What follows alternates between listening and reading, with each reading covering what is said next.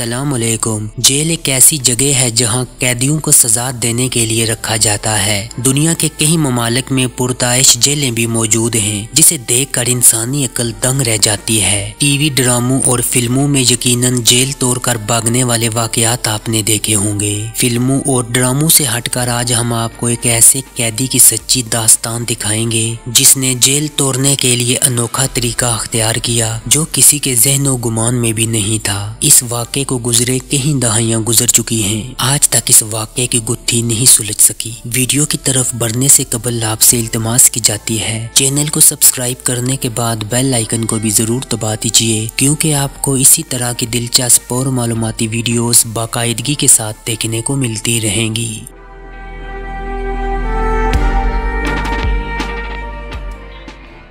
America की इस jail को दुनिया की सबसे ज़्यादा खतरनाक जेल तस्लीम किया जाता था। इस दौर में जेल तोड़ने का ऐसा वाक्य रोनमा हुआ, जिसे कई दहाइयाँ गुजरने के बाद आज भी लोग इस बारे में सोचते हैं, क्या ऐसा भी हो सकता है? क्योंकि दो कैदी ऐसी जेल से फरार हुए थे, जो एक जजीरे पर कायम थी। वहाँ से किनारे तक पहुँचने के लिए दो किलोमीटर का फासला तैर कर तय करना पड़ता था, जो बिल्कुल भी आसान नहीं था। ये वाक़ अमरीकी शहर सैन फ्रांसिस्को के साइली इलाके से दो किलोमीटर दूर एक जजीरे में वाक़ एलकेटर्स जेल में उन्नीस में पेश आया था। ये वो जेल है जहाँ से कोई भी भागने में कामयाब नहीं हो सकता था। ये जेल अमरीका की सबसे ज़्यादा सिक्योरिटी वाली जेल थी। मगर हैरान कन तौर पर जून उन्नीस को तीन कैदी फ्रैंक मोरस, जॉन इंग्लैंड और क्लीरेंस इंग्लैंड वहाँ से फरार होने में कामयाब हुए और फिर कभी इनका नाम और निशान नहीं मिल सका। फरार होने वाले कैदी तीन थे, बल्कि चौथा कैदी अपनी कोशिश में कामयाब नहीं हो सका।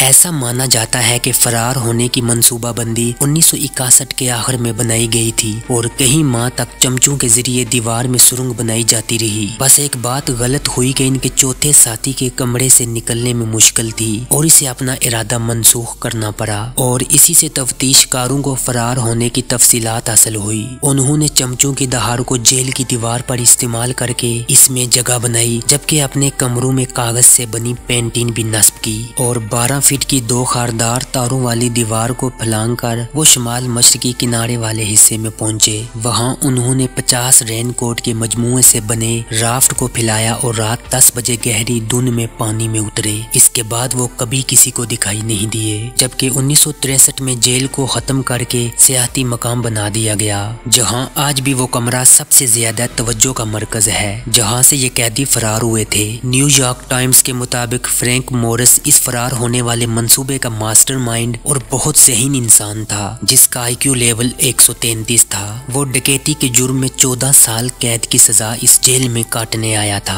जबकि जॉन और क्लेरिंग इंग्लैंड दोनों भाई थे, वो भी डकैतियों पर 10 और 15 साल की सजा काट रहे थे। दर हकीकत जेल से फरार होना तो ऐसा खास नहीं, मगर इसके बाद जो कई दहाइयों से तारीख दानों के जहनों को चकरा रहा है। वो ये है कि इन मफरूर कैदियों को कभी तलाश नहीं किया जा सका। वो सैन फ्रांसिस्को के पानियों में डूब गए या ज़िंदा किनारे तक पहुँचने में कामयाब हुए। इसके बाद लगभग छह दहाइयों बाद अमरीकी तफ्तीशकारों ने इन खुशकिस्मत या बदकिस्मत कैदियों के फरार होने के नतीजे पर खामोशी अख्तियार कर ली। यहाँ तक के एफबीआई ने उन्नीस सौ उनासी में केस को इस नतीजे के साथ बंद किया। ये कैदी पानी में खुद को नहीं बचा सके, बल्कि पानी में डूब कर हलाक हो गए हैं। इनके फरार होने के बाद अगले दिन इनकी तलाश शुरू कर दी गई। गई रेन कोट और राफ्ट की बाकियात और पैडल को एंजल आइलैंड में दरियाफ्त किया, जो एल केटर्स के शुमाल में दो मील दूर था, जबकि एक प्लास्टिक बैग भी दरियाफ्त किया गया, जिसमें इंग्लैंड ब्रदर्स का जाती सामान मौजूद था। जिसके बाद ओकाम का ये मानना था कि ये तीनों डूब गए हैं। इसी तरह ओकाम के मुताबिक इस रात इस जगह से करीब कोई डकैती या कोई गाड़ी छीनने का वाकया नहीं पेश आया था।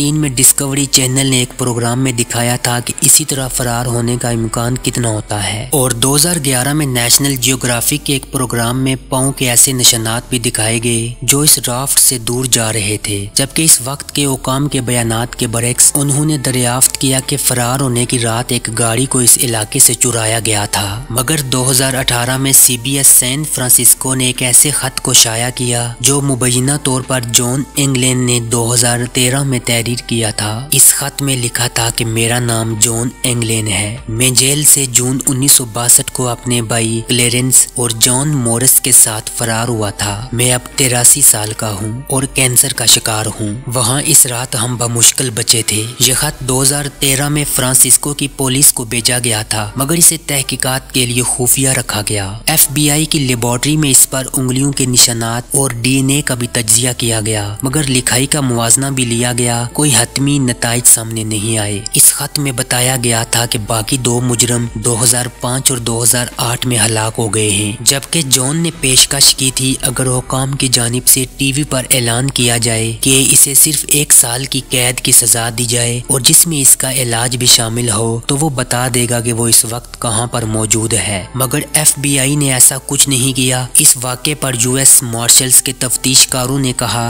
इन सब की कोई हकीकत नहीं, बल्कि ये खत एक अफवाह है, ताकि वफाकी और मकामी इंतजामिया को शर्मिंदा कर सके। और 2015 में हिस्ट्री चैनल ने दोनों भाइयों की एक मुबैना तस्वीर जारी की, जो इनके फरार होने के तेरह साल बाद ब्राज़ील में ली गई थी। वैसे ये तारीख का वाक़ इतना मशहूर हुआ कि उन्नीस में इस पर एक फ़िल्म भी बनाई गई। ये फ़िल्म इसी के नाम से उन्नीस में शाया होने वाली एक किताब पर मबनी थी। इस फ़िल्म में दिखाया गया कि ये कैदी अपने मंसूबे में कामयाब हुए थे। इस वाक्य को गुजरे आज कई दहाइयाँ गुजर चुकी हैं, मगर आज भी अमरीकी हुकाम के पास इस बात का कोई सबूत नहीं कि ये तीनों दोस्त ज़िंदा हैं या नहीं।